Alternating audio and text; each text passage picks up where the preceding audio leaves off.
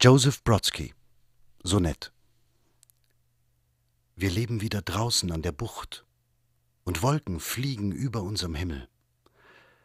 Es poltert ein ganz heutiger Vesuv und schüttet Staub herab in diese Gassen, dass Fensterscheiben klirren in den Häusern. Auch uns wird diese Asche einst verschütten.